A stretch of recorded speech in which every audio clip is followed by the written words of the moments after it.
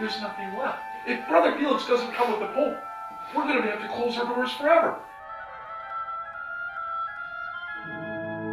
Where's the Pope? He's not coming. What? His plans have changed, the Cardinal said. He's left for Bernay to see Saint Foy. Saint Foy? She's been our patron for over 300 years. That's what I said. The remains of Saint Foy had been brought to them by a one-eyed monk, brother house. Who's this one-eyed monk? The real saint's been bundled off to Bernay, and she is working miracles.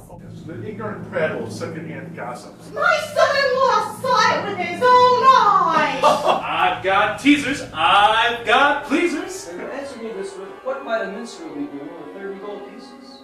Beg pardon? Swear to St. Foy that you weren't given 30 gold pieces to deliver her impostor. This this saint in Bernay, uh, she's not a saint at all. She's he's a pig farmer.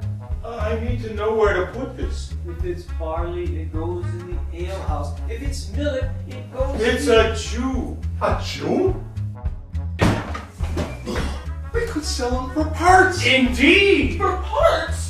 The leg of St. Philip, the foot of St. Peter, two arms, nine fingers. Not to mention your very own graveyard, just out the door. Oh Lord, how manifold are thy works. Oh, Not we. The ground is full of your riches. Oh, Lord, no. Yes! Our old parishioners? Serving their church in death as they never did in life. The Lord surely does work in mysterious ways.